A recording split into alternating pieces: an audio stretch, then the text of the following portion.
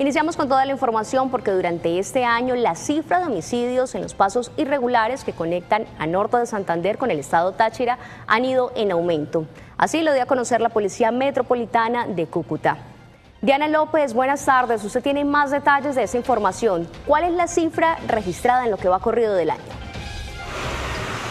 Compañeros televidentes, muy buenas tardes. Según las cifras entregadas, cerca de 20 homicidios se han registrado en los pasos irregulares que conectan a norte de Santander con el estado Táchira. De estos, 15 cuerpos han sido hallados del lado colombiano y 5 en territorio venezolano.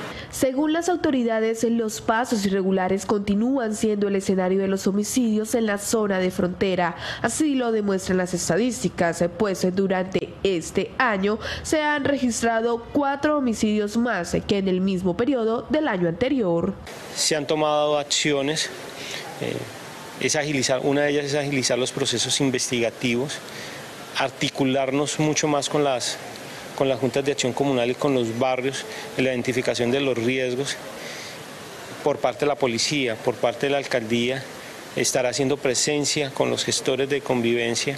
Para algunos analistas del tema, a pesar de la habilitación de los puentes que conectan a norte de Santander con el estado Táchira, los pasos irregulares siguen siendo el escenario favorito de grupos como el ELN y el Tren de Aragua. Esta es una frontera que como lo demuestran las estadísticas, lo demuestran los hechos, en el cierre de la misma, eh, es decir, no solamente aumentaron los grupos al margen de la ley en, esa, en esta zona, sino el control territorial, poblacional, social, económico. Para las autoridades y también para los analistas de seguridad, el ELN es el principal responsable de la mayoría de los hechos registrados en esos pasos irregulares, pues es un grupo que domina toda la zona de frontera, especialmente del lado venezolano. A mayor cantidad de posibles víctimas, podríamos decir que mayor cantidad de posibles casos.